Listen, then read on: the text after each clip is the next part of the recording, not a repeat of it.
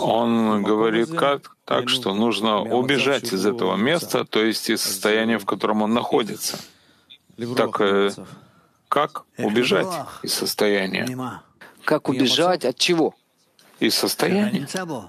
В котором ты находишься? Да, человек, есть у него осознание сейчас свыше, что он не хочет находиться в этом состоянии, но как он может убежать из него? Закрыть глаза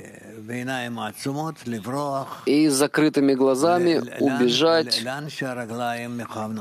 куда ведут его ноги без того, что он вообще видит этот путь.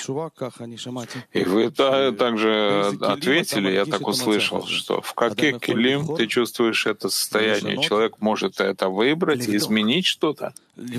Проверить. Проверить, да. Он может проверить и видеть, что сейчас он находится в изгнании. А затем молиться. А, молиться, чтобы было изменение, в каких келим он чувствует состояние?